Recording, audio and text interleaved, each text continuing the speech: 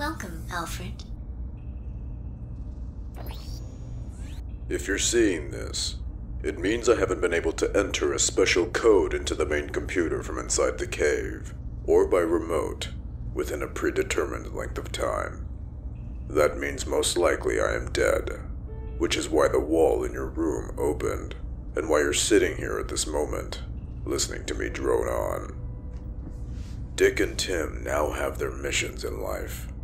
Difficult ones, to be sure, since my death will present them with distinct challenges.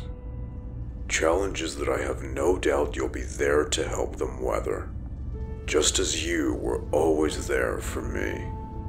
But what I'm about to ask you pertains to a specific mission, fraught with great responsibility and countless hours of stress and anxiety. Mission that I can understand you're not wanting to take on after the long road we've traveled together. If anyone's earned a life of peace and quiet, you have, Alfred. So, if you decide to accept this responsibility on top of your duties with the boys, please place your hand on the scanner within the next five minutes. Otherwise, the files will be sent. Alfred Pennyworth. Palm signature verified. I always knew you were a glutton for punishment. But before I hit you with a tidal wave of info, I have a feeling that we won't have a chance to see each other face to face again. So I wanted to say something that I never seemed to find the right time to say. Better late than never, right?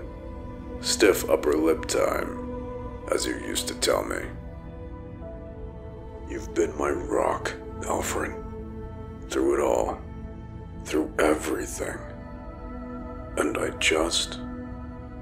And I just want you to know that I appreciate all you've done for me. All you've sacrificed over the years. I always thought you were like a father to me. But I was wrong. You're not like a father. You are my father, Alfred.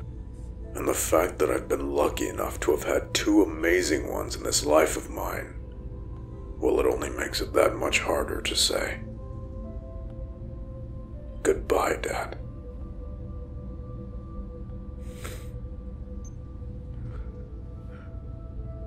Okay.